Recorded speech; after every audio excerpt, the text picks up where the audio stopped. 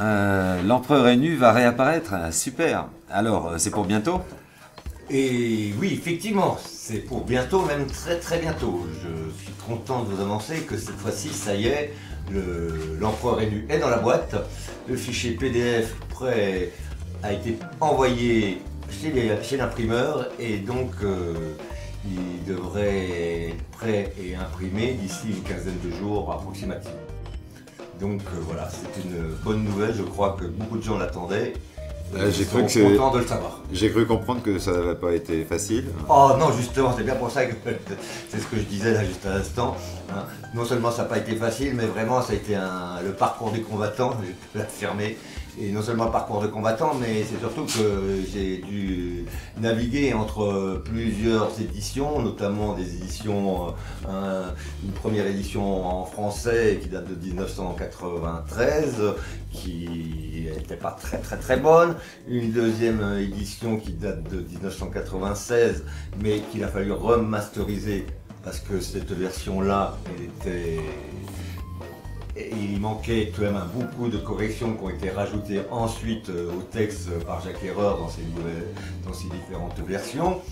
Et surtout, le plus gros, c'est qu'il y a eu deux éditions distinctes de l'empereur Enus, sans que ce- on puisse les distinguer de, sans, le savoir, mais l'une a 100 pages et de plus que l'autre. Et l'autre a 30 pages que n'a pas l'autre. Et donc il a fallu euh, faire en sorte que de scinder les deux livres en un seul. Et alors, c'est une version complétée et définitive en fait. Effectivement, je crois que là, euh, notre euh, coup de force majeur dans cette affaire, c'est qu'on est arrivé à faire la version qui est la plus complète euh, qui ait jamais été imprimée de l'Empereur Rénu.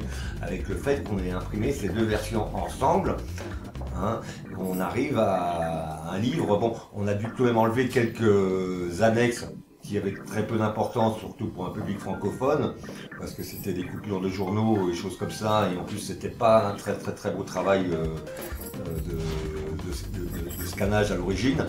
Donc euh, on a un peu zappé quelques pages des, annexes, mais pour le reste, pour tout ce qui est du texte, des, des, des encarts, de tous les petits détails, etc., il y a tout.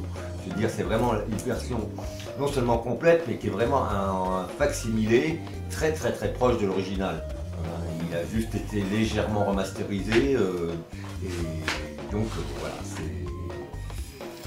Et ton autre livre pour les nouvelles Achichènes Et ben pour les nouvelles Achichènes, euh, je l'ai déjà annoncé je crois une fois, mais malheureusement hein, pour l'instant il y a des questions financières qui, ont, qui jouent, c'est-à-dire qu'on avait lancé une souscription qui n'a pas pour l'instant rapporté assez d'argent, donc euh, malheureusement on est encore obligé d'attendre un tout petit peu pour pouvoir l'imprimer, mais ça devrait suivre très très rapidement après l'empereur élu. Quoi qu'il en soit, le livre lui il est déjà totalement prêt, euh, il n'y a plus qu'à l'imprimer. Les prochains projets, tu peux nous en parler un petit peu de tes prochains projets? Je crois que j'ai pas mal d'autres projets, c'est bien ça. La difficulté, c'est que j'ai plus de projets que pour l'instant la possibilité de pouvoir tout faire sortir euh, tout en même temps. Mais notamment, j'ai un projet très très intéressant sur le café qui s'appelle le Café Voyage, qui est un livre quasiment d'ethnologie sur l'usage du café. Et je pense que ça, ça va intéresser beaucoup de gens. Et sinon, ben, j'ai un livre aussi sur euh, mon ami euh, un peu contrebandier, disons, euh, qui raconte ses aventures, euh, Monsieur Robert Delanne, lorsqu'il était en Méditerranée sur son canot pneumatique à faire un, convoi de hashish. Et, hein, et ça, c'est le deuxième livre, qui est un livre qui a été censuré, qu'on n'a pas voulu parce qu'il parlait de hashish à l'époque. Et donc, moi, j'ai décidé de le, sortir aussi. Donc ça, c'est quasiment, il est quasiment prêt, hein, ce, ce livre-là. Et qu'est-ce qu'il y a d'autre encore comme autre projet euh, Il y a un projet, oui, j'ai un bouquin sur, euh, sur le cancer, va aussi sortir. euh, C'était un peu un hasard, mais bon, euh, comme euh, le livre m'a... C'était pas ce que je cherchais, j'en demandais, je demandais rien, mais j'ai tout de même voulu lire ce qu'on proposait. Donc, et finalement, j'ai dit chiche, ça vaut la peine. Franchement, un bouquin qui soit aussi positif sur une maladie aussi négative, c'était intéressant. Donc voilà, c'est toute une partie des projets que j'ai pour la suite.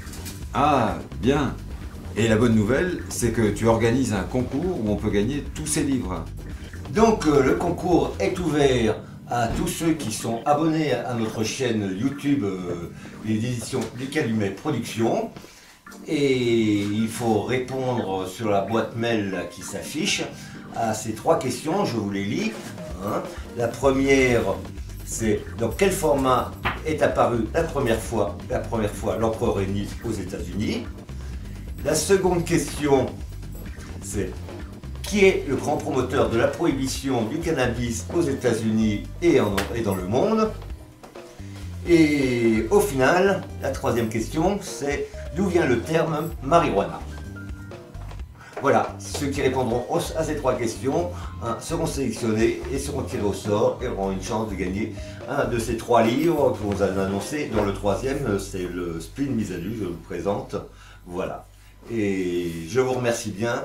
Je m'excuse encore pour tous ceux qui ont attendu jusqu'à aujourd'hui. Et je vous souhaite une bonne lecture dès que vous l'aurez reçu.